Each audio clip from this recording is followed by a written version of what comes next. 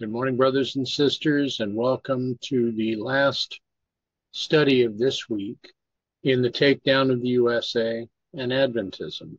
Before we begin the study, shall we thank our Heavenly Father for his blessings through this week and ask for his continued guidance so that we might have an understanding of that which he would present to us at this time. Shall we pray? Loving Father in heaven, we thank you for all of the blessings that you have been providing. We ask you, Father, for your guidance and your direction. Help us as we open your word and we look to open the words of your prophet that we might make sense of things that we are reading. May our minds be open and receptive. May your spirit help us, direct us, and guide us in all things so that we may more properly glorify your name, and give glory to your character. I thank you for those that are in this study today. I thank you for those that will view this study later on the internet. I ask your blessing upon all. Direct us now so that what we read we might truly understand. Help us to this end. For this we thank you and we praise you in Jesus' name. Amen. Okay. Now, yesterday, did we finish Article 4. Mm-hmm. We came to a conclusion. Yep. Okay. So this this little portion from First Samuel 13 verse 21. Yet they had a file for the mattocks. That does not mean that the children of Israel had a file. It means that the Philistines had a file. Well, it means that they were charging them for filing. So okay. the idea there's a word there that should be translated as price. All right. Yeah. So the idea is that they had a price for filing the mattocks and the, all the other implements. okay. now, with that being the case, we will then go into this on part five, subtitled Gideon's Men. Now, is this on the screen before you? Yeah. Okay. The paragraph begins, the use of Bible types can help us to see things in a different perspective than we would normally see. In today's world of Adventism, in, in terms of Bible study, I would venture to say that it is through the use of many different translations of the Bible that most people arrive at their conception of Bible truth. Coupled with the various denominational books, television, and other popular ministries, we as a people form our conclusions on the best sounding or the most plausible explanations that seem to agree with the closest with Scripture. In other words, we let others form the conclusions and we simply pick the one that we think is trustworthy or most suitable. Now, now okay, you have some comments on that? Well, I was I was going to say that this paragraph basically lines out exactly what we just talked about about having their own file.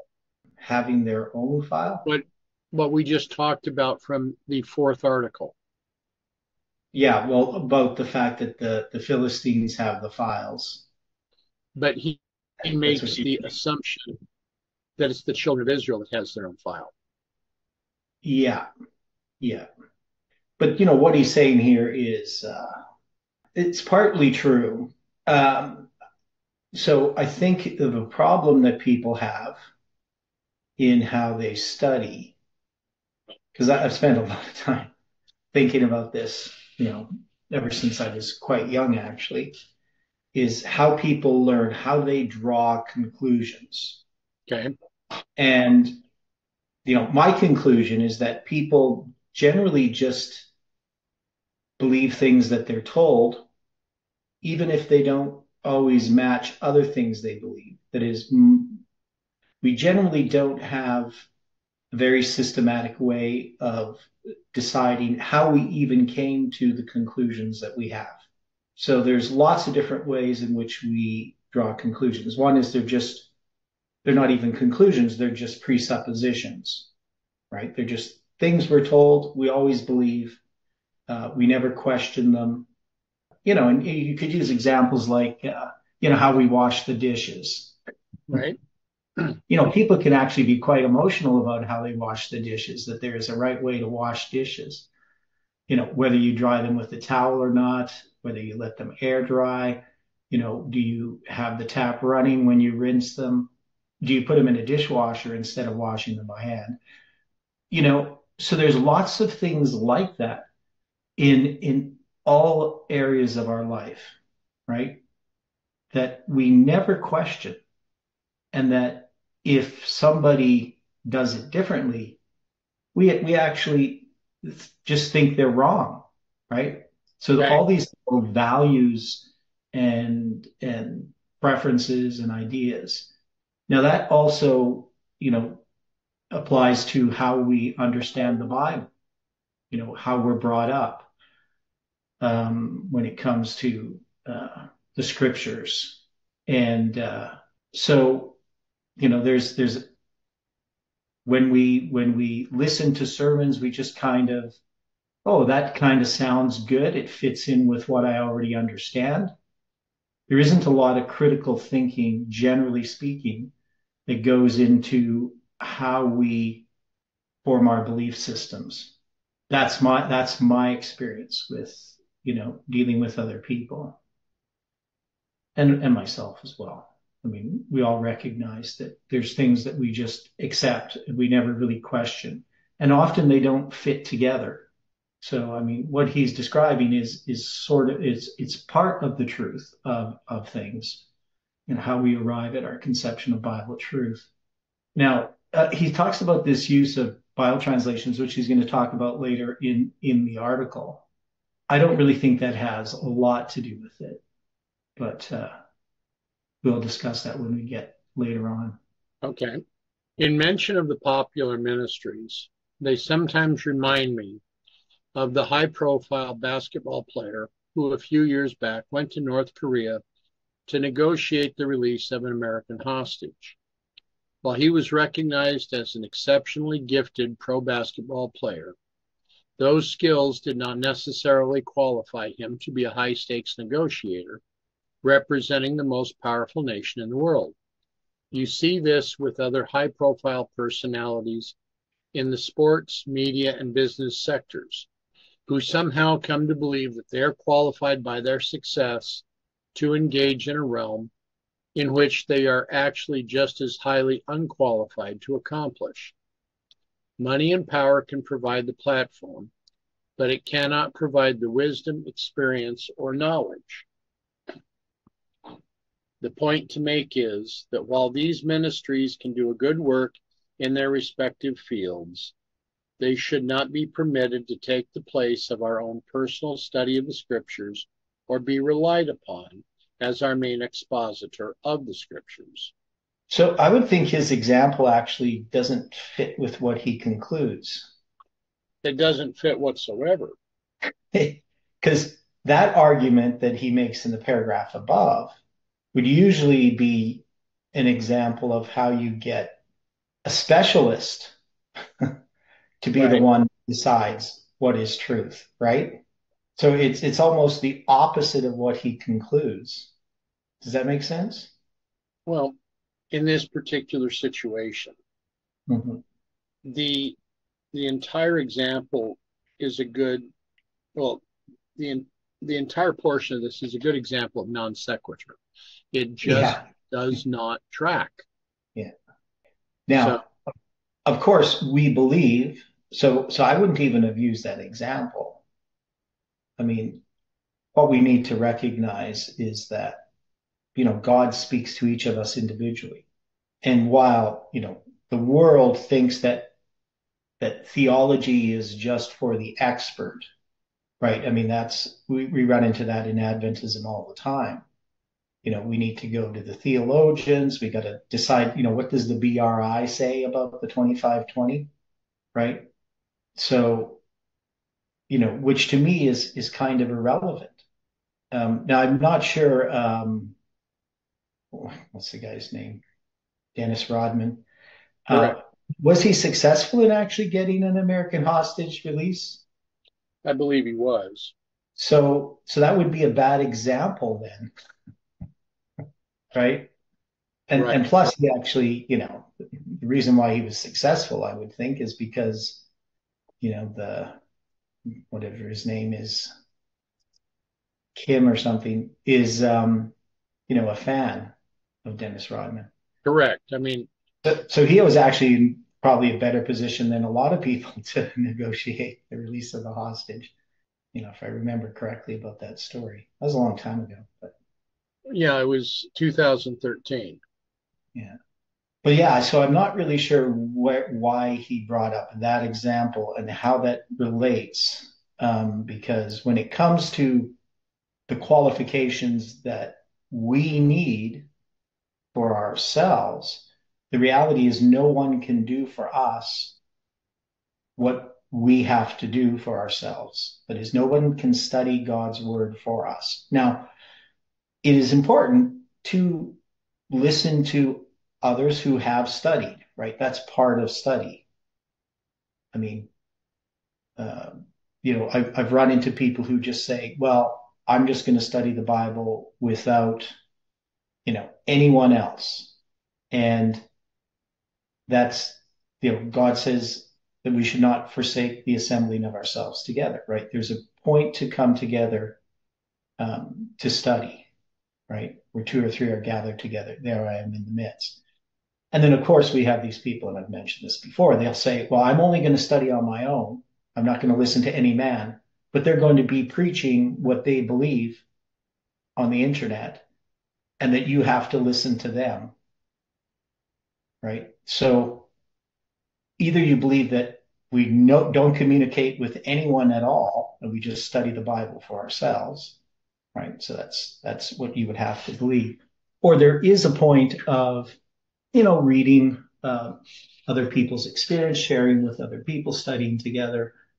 Uh, but there is a part that we only can do. It is obviously if if we just read books and we never actually sit down and prayerfully study and work through things on our own, because there is a personal walk that we have with God. If we never do that, we'll never come to a knowledge of the truth. So I, I'm not really sure I follow what he's trying to get at, other than we know that, you know, people shouldn't take the place of our own personal study. We can agree with that, but it doesn't really follow from what he said. As he said, it's a non sequitur. Right. Now, the next step was that he then goes to quote Judges 7, verses 4 to 7. And the Lord said unto Gideon, The people are yet too many, bring them down unto the water, and I will try them for thee there. And it shall be that of whom I say unto thee, This shall go with thee, the same shall go with thee. And whomsoever I say unto thee, This shall not go with thee, the same shall not go. So he brought down the people unto the water, and the Lord said unto Gideon, Every one that lappeth of the water with his tongue, as a dog lappeth, him shalt thou set by himself. Likewise, every one that boweth down upon his knees to drink. And the number of them that lapped, putting their hand to their mouth, were three hundred men. But the rest of the people bowed down upon their knees to drink water. And the Lord said unto Gideon, By the three hundred men that lappeth I will say, will I save you and deliver the Midianites into thine hand, and let all the other people go, every man unto his place. In the account of Gideon and his men, found in Judges 7, the Bible clearly details a two step testing process. The first three verses show a rather simple method that produces two classes of men. The army, composed of 32,000 men, are given the freedom to choose whether or not they will go out and fight realizing that they are up against an immense force, 22,000 men decide to go home and forego the fight. It is interesting to note that it was God Himself who decided that there were too many men in Israel's army, as He didn't want them to go out and somehow think that they were capable of defeating such a large and hostile army on their own. Now they are down to 10,000 men, and God still insists that there are too many men for Him to work with so he directs them to another test that will reduce their numbers even more. This time, however, God personally sets the rules of the test. He orders Gideon to bring the men down to the water for the purpose of getting a drink before they engage in battle. There each man drinks, the majority of men kneeling down and putting their face in the water, whereas a few dip their hand in the water and put it into their mouth, all the time keeping their eyes open for the enemy. All of these men drink out of the same water, but it's how they each drink that determined whether or not they would go on to fight the battle. In other words, God was looking to see what method each person would use to get the water out of the stream and into their bodies. The water could do them no good as long as it stayed in the stream, but it must somehow be withdrawn and be placed in their mouths and absorbed before it could be of any benefit to them. Why did it even matter to God how they drank, just so long as they drank? Wasn't that good enough? Now, the the position that he's taking here seems a bit odd. Mm-hmm. First, in recounting all of this, he jumps to a portion of this of this passage after the 22,000 are sent home. Right. So you have you have different groups. So you have, you know, the first group that just really not interested. Any excuse that they could have, they could just go. So he just wants people that that want to be there, right? Okay. So the ten thousand left, and then you're going to have the water, right? Drinking in in the water. But but what is his point? Like, I'm not sure. How, like, because we've looked at this. Ellen White comments on this, and there isn't any sort of idea in the spirit of prophecy like this regarding this story. Like he's he's going to try to apply it to methodology. Right right? That's what he's he's going to do. So, you know, it's interesting to me how this is not being approached from a symbolic representation. It's so much that that he seems to be looking at this literally. Well, and yeah. trying to apply it so literally. Well, well, what he does is he, you know, so I've looked at his his material. He, he lot lots of times argues from analogy. That is where there's something in the story, but he adds things to the story that aren't really part of the story. I mean, obviously they drink from the water, but to him it's about the water itself not really about the person's attitude. Because in the story, it's not about the water. The water is not really the issue. Correct. Right. right.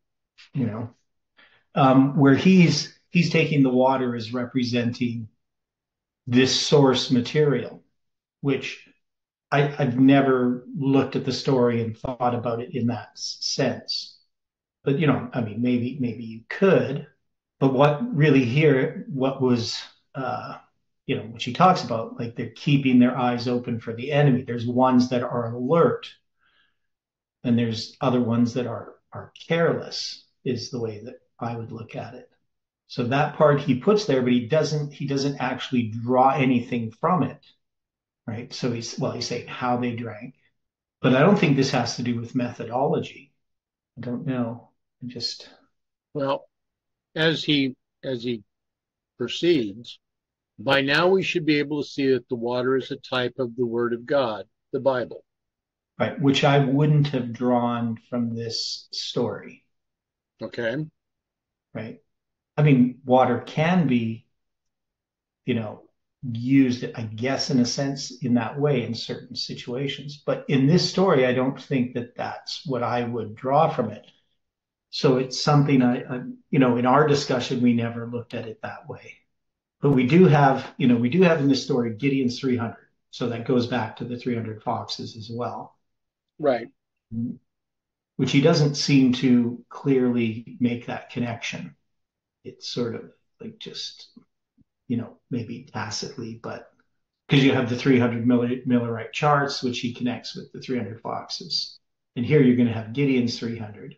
But he, you know, he could have started out you know, drawing from what was before, saying here we have this 300 in the story of, of Samson, you know, these 300 foxes. Now again, we have this 300, Gideon's 300, and and and draw it, draw through it that way and connect it, and then connect it to the chart. So you could argue, well, the 300 men represent these truths that are on the 1843 chart, right?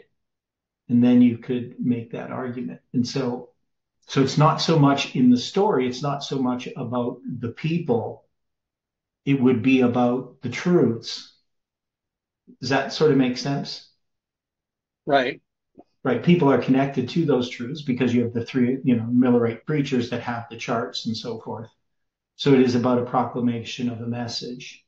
But here he's he's addressing it, you know, differently again. So you know he could have done that, and then it wouldn't be so much about methodology or at least about the individual. So about making it personal. So I, I don't know. It's it's a little bit of a mess, you know, the way that he's put this together.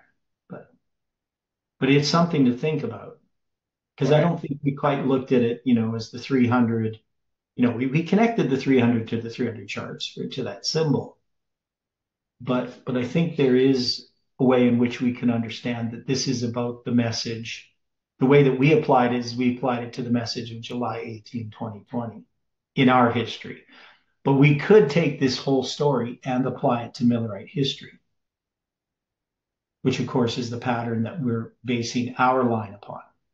Well, this next paragraph we should also realize that it is just as important to us as it was to them in this matter of how to drink, or in our case, of how to study.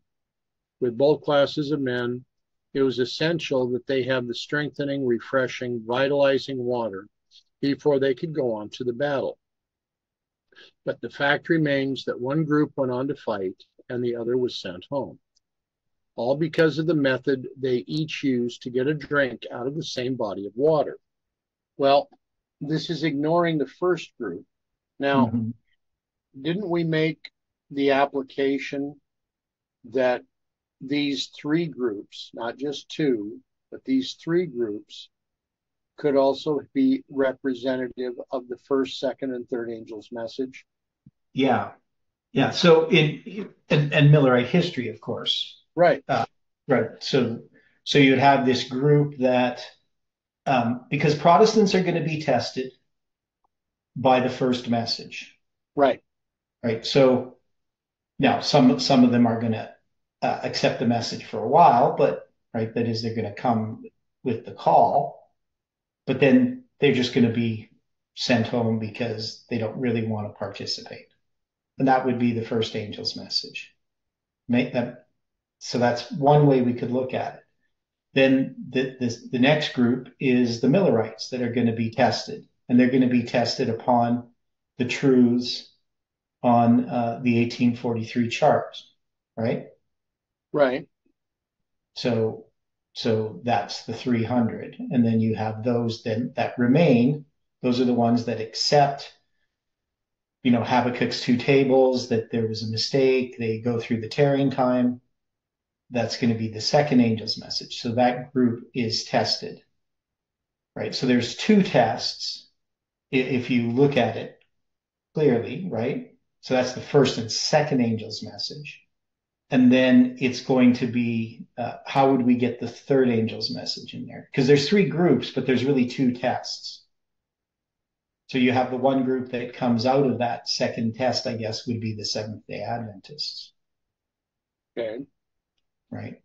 Is is that a way of looking at it? The 300, and then of course there's the the Sunday law, right? That's going to be where they um, battle against uh, Midian. Okay. So it's not, it's not so much the three groups are each of the three angels' messages, but that they're divided by the first two messages, and then it's going to be under the third angel's message that you have the Sunday law. Okay. But but we made a, a, an application of that to our history, right? So, but that's just because we're paralleling Millerite history. But we would have to understand it first in, as applying to Millerite history. But the idea here that this would that the the water is a type of the Word of God here. So again, you know, he talks about Miller's rules. Is the water a type of the Word of God? I mean, when we look at the water, well, I mean, we know water can represent people, multitude, nations, and tongues, right? Right. But when Christ applies it, he applies it more to the water of salvation. Right. Uh, to the gospel itself. Right. And, you know, he, he, you know, they that thirst has come to the water and drink, right? That that tends to be the way that water is used. It's it's salvation. It's this uh, just like you know, bread is the word of God, but water is more uh, salvation itself rather than the Bible. I don't know. I don't know if you could you could use Miller's rules to show that the word of God is or is typified by water, you know, in that direct way that he's trying to to use here. Obviously indirectly, because water comes from I mean salvation comes from God's word. Does that make sense? I think it makes a good point. Now, if you are familiar with our past, just before the Adventist Church was formed, you will recall that there was something different between the Millerites and the rest of the churches of their day.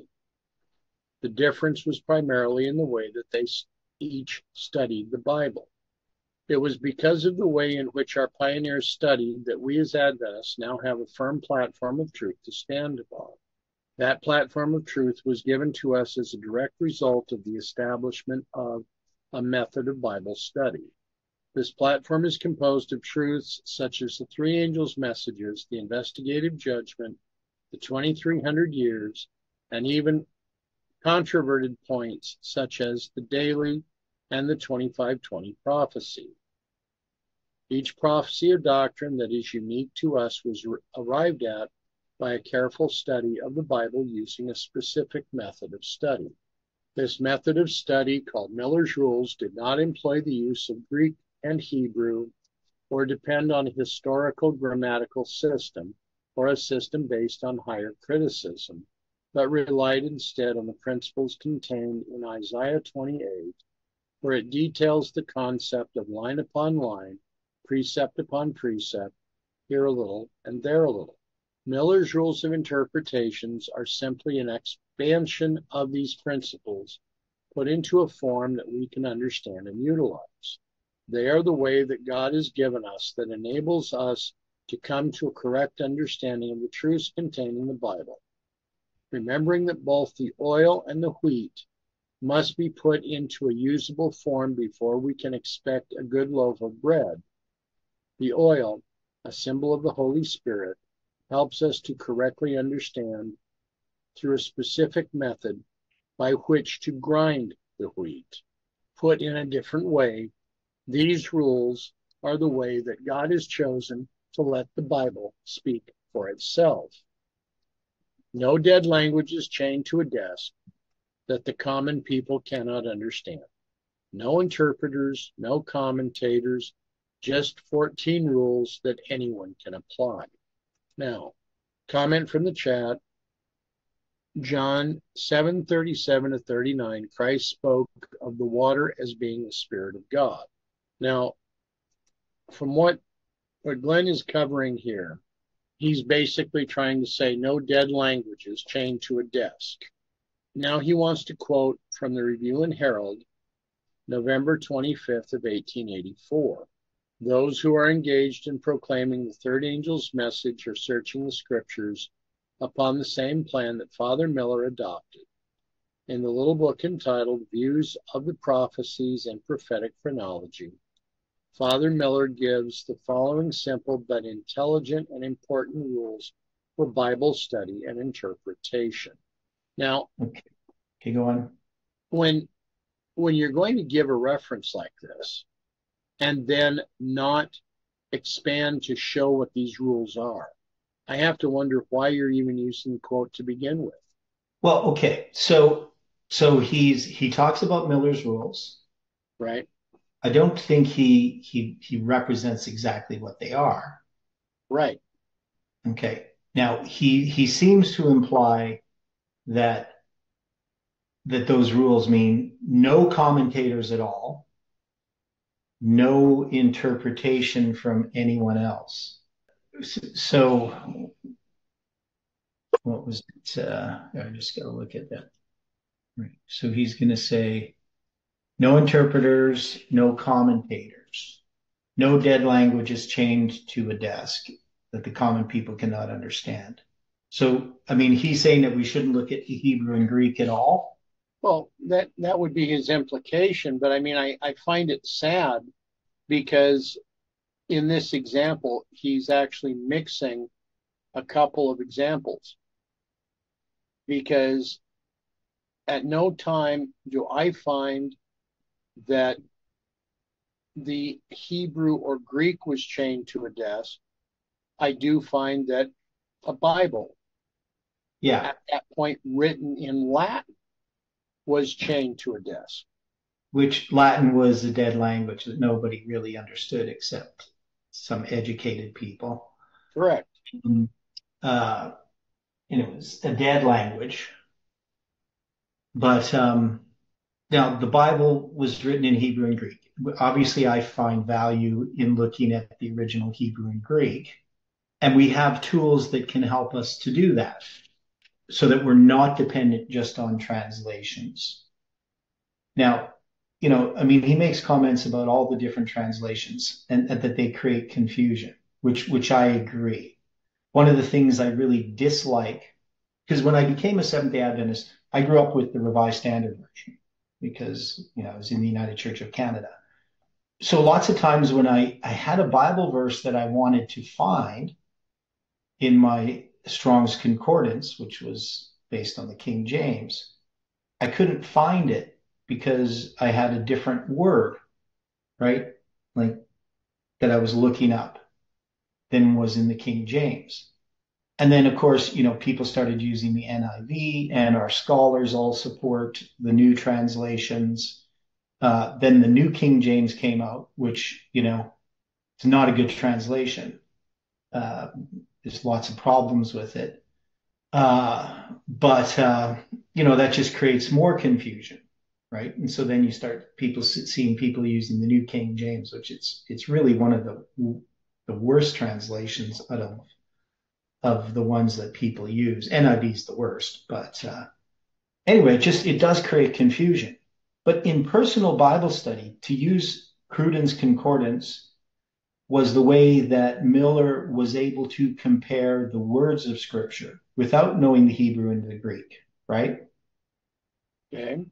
Right? I mean, he, he doesn't have the Hebrew and Greek, but he does have a concordance. Correct. And now he's going to then, you know, apply that, which when you use like the tools that we have with eSword, we can actually compare not just that the translation English word, but we can also compare uh, the Hebrew and Greek words, right? We don't really need to know Hebrew or Greek to at least do a search of the scriptures using a particular word, right? So you can look up Mara and Mara and Kazon. If we if we didn't have uh, eSword or some way of, of doing that. Like we couldn't do that with with Cruden's, right? Because you, you can just look up the word vision, but you can't tell which Hebrew word it's translated from. So if you're going to take that position, there's lots of things that we could not study and that we couldn't draw conclusions from that we have done.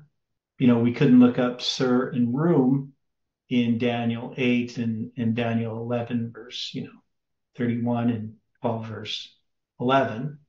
So is he arguing against doing that? He would seem to be. Okay. So anyway, he's not really clear. Now, the other thing that, of course, is, you know, Miller did study on his own, right? He didn't Correct. use a bunch of commentaries to, uh, you know, to figure things out. But he had to have an understanding of history, right? That is, he had to have some knowledge about, you know, events in history. Not everything that he, and he had to have, have dates in order to deal with the prophetic periods, right? Right. Right. To, like to get 677, you're not going to get that from just studying your Bible. You know, the Bible's, now you could say, well, he had a Bible with Ussher's dates in it. But but that's in a sense a commentary, right? Right. But here's here's one of the one of the points that I find interesting when when the comment is being made about the dead languages, there are definitely specific words where in Cruden's concordance they Yeah. give reference to both the Greek and the Hebrew. Okay. So now it's it, it's kind of a problem to say that Cruden did not use and did not present any Greek or Hebrew when it's in the in the concordance itself that he did. Oh, okay. Yeah, I do have a Cruden's, but I haven't really used it because I got eSword, you know, so I um I've looked through it. So Well, is he going to group the words based on the the Hebrew? Like if you look up vision, is he going to have them grouped as, you know, the ones that are kazon and mara and no, mar? No. vision is grouped. You've got vision in a vision or visions plural. He does not delineate between the three words. Yeah. Okay. Right. So there are limitations that that Miller had that God still used, but when we look at Miller's rules, it really isn't about um, what he's saying here. No interpreters, no commentators. Right. I mean, Miller is is is laying down how that we understand how we understand the Bible, how we compare Scripture with Scripture, uh, because his approach was to understand what he was reading.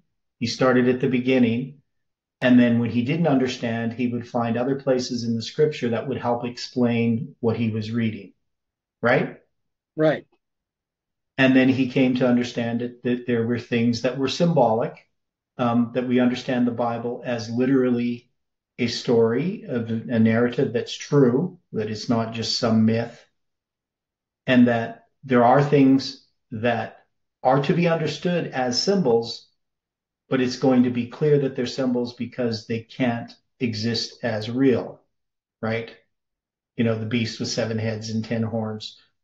Um, you know, we're going to understand those things to be symbols. Lots of things that we're going to see throughout the scriptures that are symbols, that are stories, parables, and so forth. He's also going to understand to some degree ty- typology. Now, we do have an expansion of Miller's rules that, that actually come from the use of Miller's rules, right?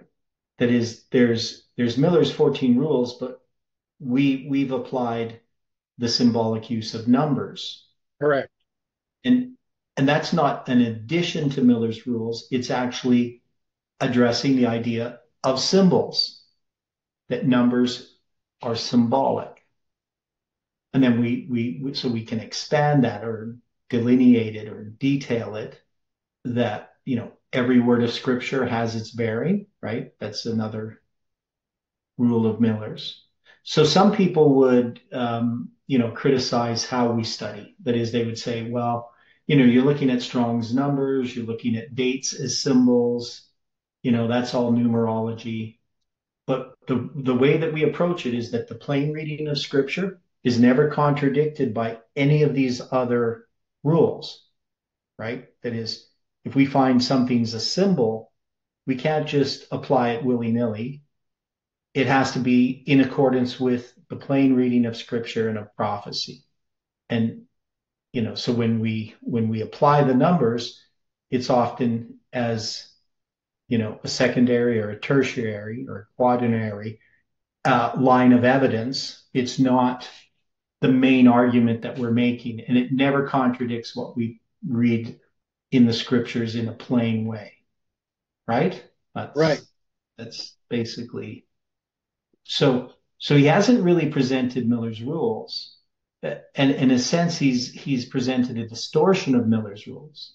No interpreters, no commentators. So, if because if because other people can study the Bible, and if we're saying that, well, we can never listen to what anyone else says about the Bible, right? Like, because in a sense, we're commentators, just like you know the commentators who write commentaries.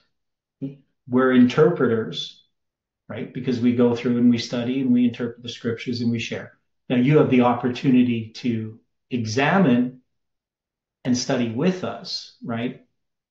And, and I use commentaries because often the commentaries will help connect some of the different scriptures together, right? They will, they'll give some information and they'll say, well, you know, this verse here, it relates to this other verse.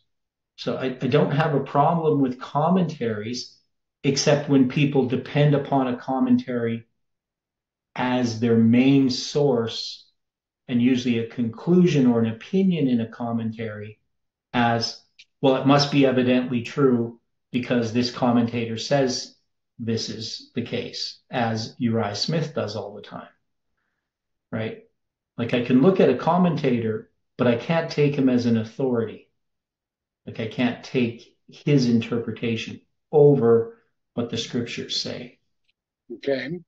It throws me why to give a reference to something and then not show what the reference is and explain what you're what you're dealing with. Mm-hmm. So and and and misrepresenting it really. Right. Now he continues in a, in a totally different path. The many different methods of study, along with the numerous versions of the Bible, bring confusion to the truth rather than clarity. All of the modern versions of the Bible came into existence after 1850, and most, if not all, were produced by the Protestant denominations and publishing houses. While we should never be unkind in our critique, we must always remember that these institutions are numbered with those that fell when the door was shut to them in 1844. They experienced a moral fall and have continued falling lower and lower. Great Controversy 389.2. Their methods and versions will not produce a movement to call us out of Babylon. Rather, it was and will be the other way around. Now, it intrigues me because his comment about all of the modern versions of the Bible coming to existence after 1850 I believe it was in 1826 that the British and American Foreign Bible Society made the decision to remove the Apocrypha from any of their Bibles. I am aware for a fact that the Bible that my friend is using does not have any of the Apocrypha in it.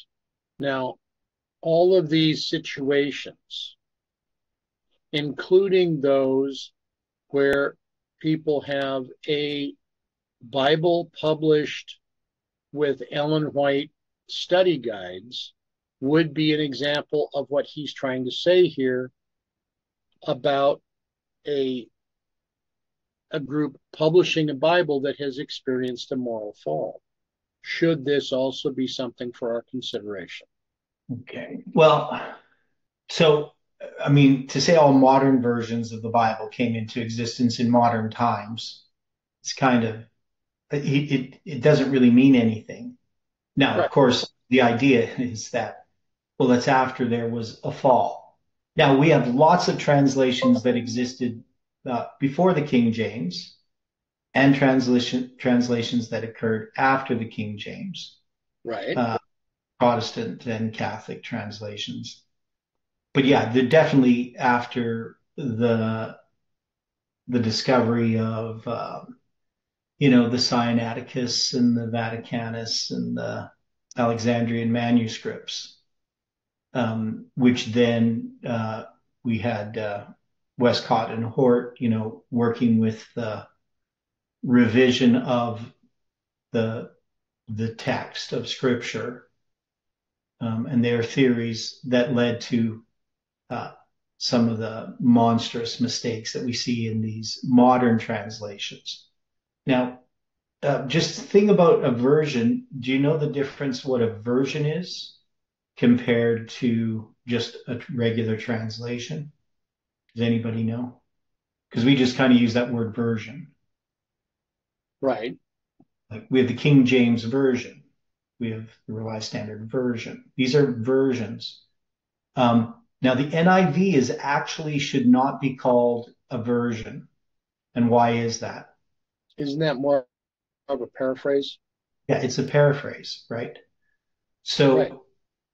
so how they managed to get it to be called the New International Version when it's a paraphrase, it's a different type of translation. So versions are meant to be more literal in their translation. That is, you should, with a version, you should be able to translate it back into the original Hebrew or Greek. Uh, but with a paraphrase, you know, it's it's not so direct. And so when you have like the Latin Vulgate, that's a version, right? Or the Septuagint, that's a version. Or the King James, that's a version. But um, so a lot of the translations don't use that term version as part of their title, right? You know, the American Standard Version, that would be a version. But, you know, something like the Bible in Basic English, that's not going to be a version, you know, or The Good News Bible would not be a version, it would be a paraphrase. Right. Yeah.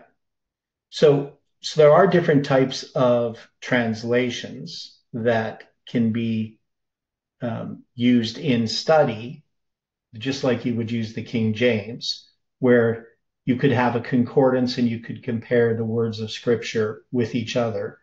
But the King James is the best one to do that, right? So, I mean, I wouldn't use any other translation as a personal uh, study Bible. A lot of people make a big deal about like the American, uh, what is it? Uh, New American Standard Version. New American Standard, which, you know, people say this is such a great translation. And it, I don't find it to be a very good translation. But, you know, I've spent a lot of times, I collected a lot of Bibles and did a lot of research on Bible translations uh, through the years. I would say actually uh, the English Standard Version is, is a better translation than the New American Standard Version. But anyway. I, I was a bit surprised when I looked up the the different Bibles that are drawn primarily from the Textus Receptus. Mm-hmm. So yeah, and that's gonna that's gonna affect the New Testament, right? Not really gonna affect the Old Testament. Uh, but there are translations that depend a lot on the Septuagint as far right. as interpreting the Hebrew, and and you know NIV would be one of them. So, yeah, obviously we should use the King James, but I do think we need to use Strong's Concordance and the dictionaries. And, uh, you know, the best is to have eSword. You have different translations that you can compare. But, but this is a way of, of looking at, at the actual language, even if you don't know how to speak Hebrew or Greek or read Hebrew or Greek. But yeah, sometimes people can come to quite wrong conclusions when they look at the Hebrew or Greek as well. So, so anyway, at, you know, I don't think we should depend upon, you know, tra- other translations. So I would agree with him in that sense. Okay. But it's just, it's, I mean, it's obviously uh, an interest of mine, Bible translations. Okay, in considering this, it is highly interesting to understand just how the Midianites and the Amalekites were destroyed. So we're segueing to another subject altogether that he's attempting to make use of as an example. The Bible tells us that the Lord set every man's sword against his fellow. As with the water, John 4 1 to 15, so the sword also represents the Word of God Ephesians 6:17. It is these two precise things, the Protestant methods of study, the historical grammatical and the higher critical reasoning, coupled with the different versions of the Bible, which led to their original and continued rejection of the three angels' messages. As a result, they have many conflicting swords of interpretation in the various denominations that will be responsible for the loss of many souls. The point to make is that somehow we as Adventists think that we can incorporate these into our study of Daniel 11, or any prophecy for that matter, and somehow escape from the sure results. The situation that was occurring in 1844, the majority of those that were studying Protestant, Adventist, Millerite, whatever, were all using the King James Version, unless you were Catholic and then you were using the Douay-Rheims. So I'm having a I, I'm having a bit of an issue with the way this paragraph is presented. Okay, so one is he he gives us this reference now where water represents the word of God, John 4, verse 1 to 15, which I don't get from that uh, passage dealing with the woman at the well in Samaria, the Samaritan woman at the well. Because what Jesus is offering her is is salvation through him, right? Right. It's it's it's he's not using the water there to represent the scriptures at least I've never read it that way. Now we do know a sword represents the word of God. So that's pretty clear. Now then he's going to mention the historical, grammatical, and higher critical uh, method. So there's the historical grammatical method, which is what our scholars say they're using. And then there's the critical grammatic or historical critical method, I think it's called, um, that uh, is what many scholars use. So Adventists have have adopted this name historical grammatical method. And and these are obviously not Miller's rules. So part of the historical grammatical method is that we should understand the, the scriptures the way that people understood them who were contemporary with their writing and that we generally just take the scriptures more as uh, devotional beyond that, right? So, which is not a method that Miller used. Right.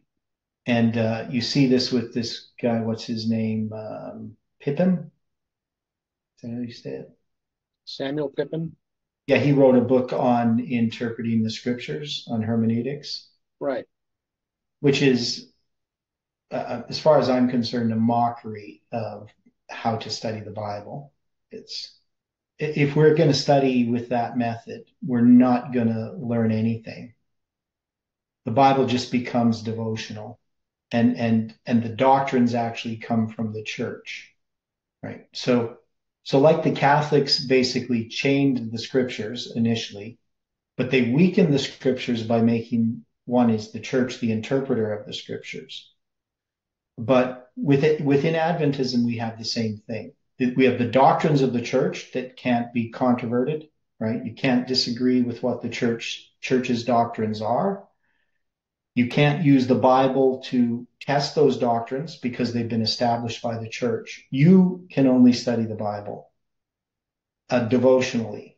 And if you're going to, you know, read the stories of, let's say, judges, you could learn lessons, moral lessons from the stories of judges, but you definitely couldn't apply it as, you know, that it was written as in, in samples or types of the present, right?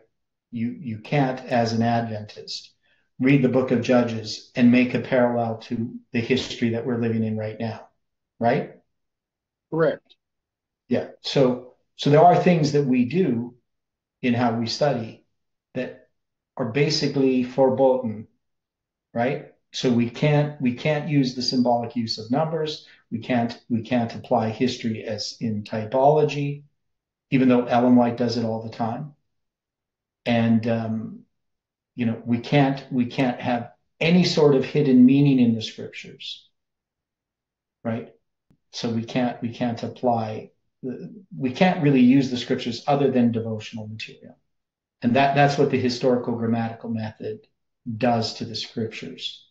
The historical critical method just deals with the scriptures as if they're uh, myth, right? So, so obviously we're not going to use those methods of Bible study. Correct. Now, Gideon and his men came against the Midianites with a trumpet in their right hand and lamps in their left hands. In other words, through the lens of the type, the Millerites came with a correct interpretation of Bible prophecy that was arrived at by the correct method of study, utilizing the correct version, King James Version of the Bible, thus giving the trumpet a certain sound. The vessels were broken, allowing the lamps, the Bible, to shine without human speculation.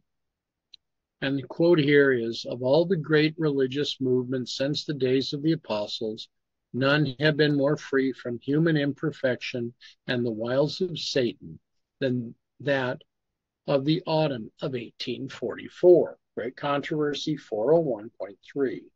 Christ always demonstrates the end from the beginning, and it will yet be seen in the study of Daniel 11 31 to 45 that if we employ the same principles in our study, we will also arrive at, at the correct conclusion. Those who do this must also contend with the popular misconceptions and long-standing errors held in our church. Now, in the first article, he made it very clear that he was not here to be critical or criticize. Yet, in this statement, he's commenting about contending with popular misconceptions and long-standing errors. Is that not criticism? Well, maybe he's not criticizing individuals per se, but okay. I mean, obviously there, there is there needs to be criticism, right? I mean, as far as errors, because you know, if if he's not correcting any errors, then there's no almost, you know, that that that's I mean that's the purpose of his his study is to show you know how we should correctly study and uh, but I don't think he's doing a good job of showing how we should correctly study. Right. But even if he even if he himself is correctly studying, he, he's not demonstrating how to do that. Okay. So um, okay, so there was here um, so when we looked at this story of, of the trumpets and the lamps, right? So we know that this is a specific message. If we're applying this to Millerite history, we know that that, that trumpet is uh, the messages of the first, second, first and second angels' messages, right? Right. Um, and we would place this story if we're going to if we're going to take the story of Gideon and we put it into to Millerite history, we would then have to say that, well, Gideon is actually going beyond Millerite history because the third angel's message arrives on October 22nd, 1844. But the trumpet must refer to the proclamation of, of the Sabbath and, and the truths after 1844, right? Because if we're saying the first angel's message uh, Uh, and the second angel's messages are those messages that cause that division, to then we finally have the Seventh day Adventist Church that is supposed to be giving that message, which is the Sunday law, right? We would understand that that message is the Sunday law, right? About the mark of the beast and so forth, the third angel's message. Okay. Even if we applied this to the Millerite history, it you can't put this as the second angel's message in Millerite history right? Because you can see how he's taking the story. He's just saying it applies to the Millerites. Right. But we would have to say it applies to Seventh day Adventists. Agreed. Yeah. Okay. And so now we know the vessels being broken. What is what does that represent? Isn't that more shining light? Well, we have this treasure in earthen vessels, right? Okay. So this would be Christ's character perfectly reproduced in his people. That is, we would have people who they are broken, right? Okay. Right, right. They self is not in the way of giving, letting this light shine. So this has to do with more perfection of character, right? So he doesn't really address what the vessels being broken represents. He just says the vessels were broken, allowing the lamps, which, I mean, God's word is a lamp, right? So we, we can definitely say, well, that's the scriptures to shine without human speculation. So you could say, well, the breaking of those vessels is the breaking of human speculation or something. But we would see it as, as, as a conversion process. You, you have a convert, converted people proclaiming the truths of Scripture with a trumpet, which is that message in the last days dealing with the third angel's message. So to take this quote from Great Controversy and apply it to the story of Gideon we don't put the story of Gideon in Millerite history in that way. No. Yeah. Okay. As we have seen, Gideon's men all drank out of the same water, but it was how they drank that counted. Considering the context of these articles, it is interesting to note that it was the class of men who drank deeply of the water who were sent home. These represent those who are stuck in the endless minutia of the process itself. Uh, Okay. Comment? well, is that really what was that they drank deeply of the water who were sent home? No. No, I mean they, they put their mouths down to the water, but that's not really the issue of how much water they drank, right? This is this is leaping to a conclusion. W- Yeah, stuck in the endless minutia of the process itself. So, I mean, so obviously, I don't think we're when we study minutia, okay, that is, the details are important of script in scripture. Right? We, we we handle the word of God carefully. That is, we we when you're studying the Bible, you don't just simply, you know, read read on the surface and and draw conclusions. You have to compare scripture with scripture. It, it's diligent Bible study. Now, so I'm not sure what he means by stuck in the endless minutia. I mean, we, we definitely aren't going to argue, you know, how many angels can dance on the head of a pin type of thing. But the minutia of the process itself, I'm not sure what that even means. Is, is that really the problem? That people are stuck in the minutia? I, I think it's actually quite the opposite problem, is that people are not really studying. They're not looking at they're allowing too many others to tell them what the Bible says rather than searching it for themselves.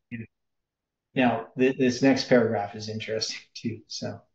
In other words, they drank so deeply of the actual methodologies themselves that they, the methodologies, are no longer able to produce truth that is either useful or instructive.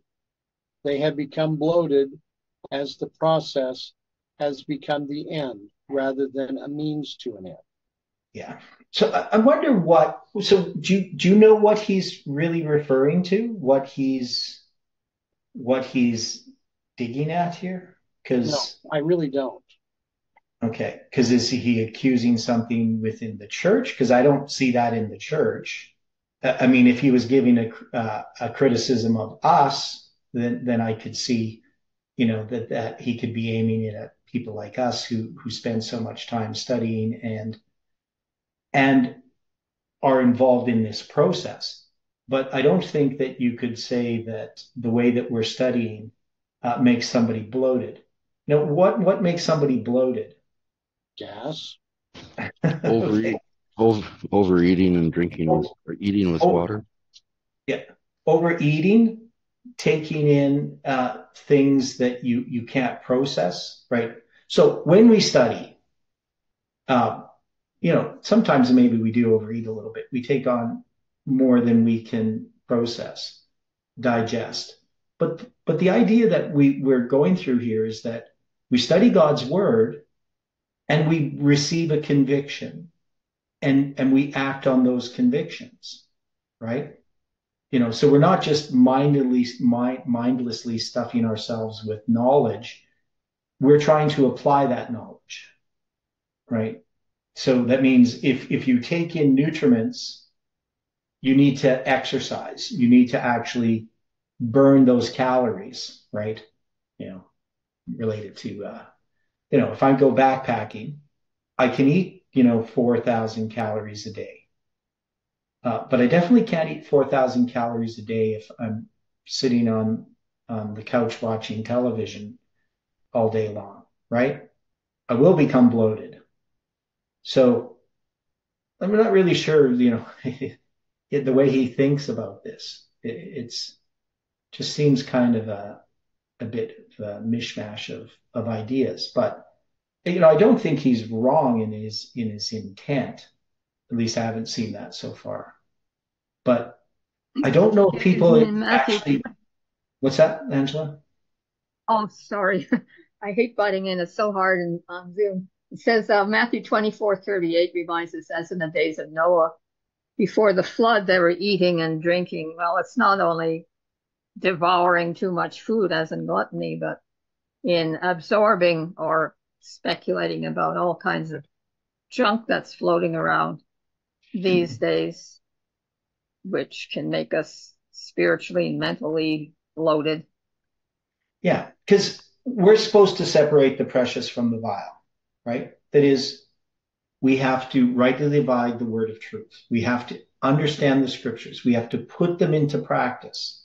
Like when I look at Miller's, you know, last rule, which I think is is is a very broad rule. Like there, it it it involves lots of things. That we must have faith, which is more than just trusting God's word in like in an intellectual way, but it's actually acting on God's word. That that is, it includes the conviction that we get from studying God's word, and and everything that we would we would put into what is involved in in the Christian life, right? So if you're studying the scriptures and it's just an intellectual exercise, then it's not going to benefit you at all. Um, which I think is what I would say, you know, people who are just like studying, but they're not they're not putting it into practice. That's maybe what he could be aiming at, or at least trying to address here. But I don't know anybody who just is deeply involved in the actual methodologies themselves. And right, I, I don't really think it's about methodology, right? That is in in in how like a person can study the Bible. If he goes to God and says, Lord, I want to understand the scriptures. Please guide and direct me in understanding the Bible. He doesn't really need to know methodology, right? In order to come to understand the truth. Correct? Yes, I think so. Because God can direct him. I mean, when I was, you know, 14 years old and I'm reading the book of Revelation and I pray to God, God, it says that blessed is he that reads these words and understands those things and keeps those things, you know, for the time is at hand. I could pray to God as a 14 year old who doesn't really understand much about methodology or anything. I mean, I've read lots of the Bible and I've read commentaries and so forth. But God could direct me, and, and He directed me in, in different ways, right? One is in, in my personal experience of things that happened to me in my life. Um, but also, He directed me to the Seventh day Adventist Church, right? So I ended up becoming a Seventh day Adventist you know, like uh, five years later, right? So it's lots of things that happened in my life. So God can answer those prayers. Now, a person can have complete understanding of, you know, methodologies. They may even profess to believe Miller's rules. But if they're not really seeking God, if they're not wanting to address the sins in their own lives, and that it doesn't really matter what methodology they use, right? They're not going to come to an understanding of the truth, right? If they're not going to obey God, if they're not going to receive a conviction as they study God's word, it's not going to benefit them. And and even if people know the correct methodologies, often they don't they don't practice what they what they know, right? Because we're sinners, right? We we use we use the Bible as a way of avoiding dealing with who we are, and uh, so you know I, I, think we can just make too much about methodology. It's uh, it's not the be all and end all in understanding truth. No, it's not. No, if the scripture doesn't jump off the page into our into our own experience for the day, then it's not the living word. Like yesterday, mm. I just quick prayer and opened the Bible and some, you know, sometimes I do that and jumped off the page about a fiery trial, the fire, uh, a sacrifice offered by fire. And boy, I'll tell you, it was a good day. It was a yeah. fiery day. It was a trial day, but it was a sacrifice offered to God, a sweet savor. Yeah. And, and so and so we can approach the scriptures in different ways in different times. Like there are times that we're we're studying, you know, very intellectually. Like I'm going through and I'm studying like the chronology of the kings of Judah, right? And uh, there isn't a lot of things in doing that study directly that are speaking to me at that moment about my personal day to day life, right? Mm-hmm. You understand what I'm? You know, like yeah, yeah, I do. You know, but it doesn't mean that that's a waste of my time either, because the conviction that comes as I study God's word and I put the scriptures together and I get a, a better picture. You know, one of the things that happened to me one time when I was studying like the whole story of uh, well, the chronology of the Babylonian captivity and the end of it and so forth. And I'd spent so much time in studying it that I became very familiar with the, the people in scriptures and their experiences. And I was reading um, to Heidi from, uh, I think it was Prophets and Kings. Um, and, you know, as I was reading, I became very emotional because for the first time in reading that story because I'd read Prophets and Kings many times. But I'd always kind of read over it that as I didn't understand, you know, who these people were and what happened. And now it just meant something to me. Right. You know, so so both parts are necessary. That that personal deep study of of the details of scripture, struggling over difficult passages that may not in and of themselves just you know be the message for the day. But but there are times that we just open the scriptures. And if we just limited it to you know i'm just going to open the scriptures and read read a, a, a chapter each day and that's going to be my bible study those those scriptures may not speak as much to you if if you um, than if you had done all of the other type of study as well right? So you need both.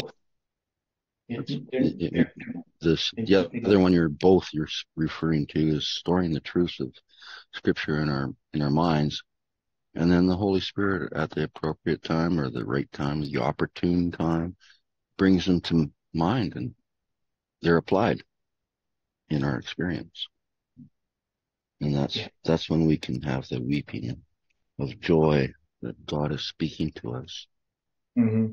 through the through his word Okay, thanks, Kelly. Okay, Dwight, you got this last little bit of this conclusion to finish off. Right. Jacob helps us to see the same thing put in a different way. Jacob's sheep drank out of the same watering trough, just as Gideon's men all drank out of the same water. But this time something is added when a certain class of sheep drink of the water. This is the subject for part six. So I'm baffled because I don't really see this being as fully presented as it could be. And now we're segueing into a different situation altogether where Jacob's sheep are now going to be compared with Gideon's men just because of the use of the water. Yeah, which which I don't think I would do but this is his part six study on Jacob's sheep. So, so we'll get to part six then on Sunday. Any other thought or comment or question at this point? Okay, shall we then close with prayer?